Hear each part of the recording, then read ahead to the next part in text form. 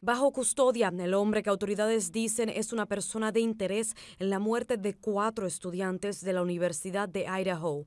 Brian Christopher Koberger, de 28 años, fue detenido el jueves por la noche en el condado Monroe, en Los Póconos, Pensilvania, por agentes del FBI y policías estatales tanto de Pensilvania como Idaho.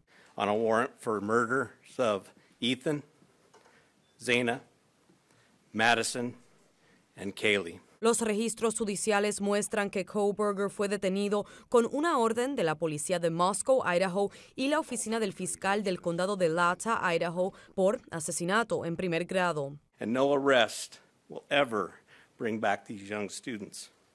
However, we do believe justice will be found through the criminal process. El 13 de noviembre, autoridades recibieron una llamada alertando sobre una persona inconsciente. Al llegar a la casa, los policías encontraron a cuatro estudiantes universitarios sin vida. Añaden que fueron asesinados en una casa a media cuadra del campus de la Universidad de Idaho. En la conferencia de prensa que llevaron a cabo la policía de Moscow junto a oficiales del condado Lata, ellos aseguraron que este no era el final de la investigación, sino un comienzo nuevo.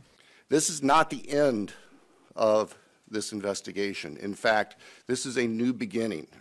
Autoridades no revelaron la conexión de Koberger con los estudiantes y qué pista los llevó a él. Su próxima cita en corte está pautada para el martes 3 de enero en Pensilvania, donde el sospechoso podría aceptar la extradición voluntaria a Idaho. De lo contrario, la policía continuará el proceso. Por ahora está detenido sin derecho a fianza. Valeria Aponte Feliciano, Telemundo.